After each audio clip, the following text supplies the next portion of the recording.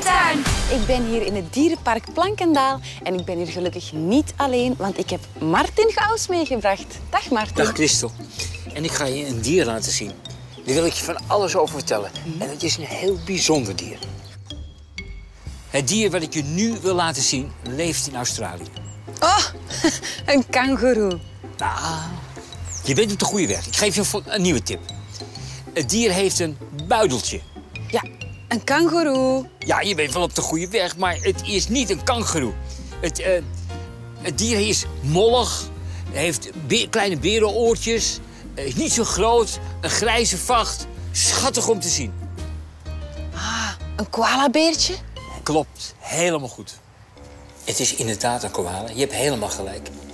Is dit niet vredig? Sst, Martin, hij slaapt. Nou, kom op, slaap, kindje, slaap. En als ik mensen meeneem en ik laat ze het zien... dan vinden ze het fantastisch. Ze vinden het prachtig. Martin, toen ik hier binnenkwam, ben ik echt onmiddellijk verliefd op hem geworden. Zie. Oh ja? Leuk, hè? Moet je het zien. Wat zo mooi is bij die koala's... alles gaat een beetje traag, een beetje langzaam. Ze zijn ook een beetje luiig. Nou ja, luiig, wat is in de natuur? Een uur of twintig slapen ze per dag. Twintig? Ja, het is, Echt? ja ze hebben, je hebt geen kind aan ze dan. Als ze twintig uur per dag slapen, dat is toch immens veel. Waarom willen ze zoveel slapen? Nou, ze, ze eten eucalyptusbladen. Dat moet verteren. Dat heeft veel rust nodig voordat het goed in die maag opgenomen wordt. Dit is dan die eucalyptus van de koala. Die Een bosje voor jou, alsjeblieft. Dank u wel. En dan weten, hè, dat zijn meer dan 500 soorten. 40 zijn er misschien geschikt voor de koala. En dat selecteert hij precies uit. Dat is het enige wat hij eet. Dat is het enige wat hij eet. En dat valt niet mee, dat moet verteren. Daar heeft hij tijd voor nodig. Hè. Vandaar Uren. al dat slapen. En dat slapen dan, dat, eh, dat zorgt voor een goede vertering.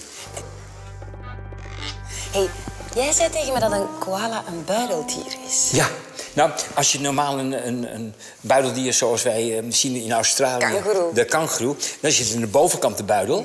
Maar bij een koala zit hij aan de onderkant. En nou moet je eens opletten, dat is niet zo- zo onvoorstelbaar. Ze paren, 35 dagen later komt een jong, heel klein... En dat zit dan in die buidel. En dan kruipt het naar beneden toe, komt het bij de anus... en eet dan de ontlasting op. Ze eten de ontlasting gewoon, dat is een papje van, van, de, nou ja, van de eucalyptusbladeren. En dat heeft hij nodig. En gedurende een week doen ze dat. Nou, en daarna zit hij een halfjaartje op de rug, paardje te rijden. Gewoon. Een half jaar ja. gaat hij mee met de mama. Ja, een half jaar. Is super. Zeg, en als hij alles zo traag doet, moeten wij dan niet een beetje trager praten? Nou, dat opgewonden gedoe van mij hoort niet bij een koala. Dat ben ik inderdaad met je eens. Maarten, ik ben echt helemaal verliefd op de koalabeer. Het zal niet makkelijk zijn om me onder de indruk te krijgen de volgende keer. Nou, ik weet zeker. Ik heb de volgende keer weer iets heel, wat heel bijzonder is. Toch? Ja, ik, eh, ik heb er heel lang over nagedacht. Ik denk dat je weer verrast zal zijn. Ja? Maar ik vertel het je niet. Ik hoop dat jullie de volgende keer ook weer verrast gaan zijn. Ik alleszins wel.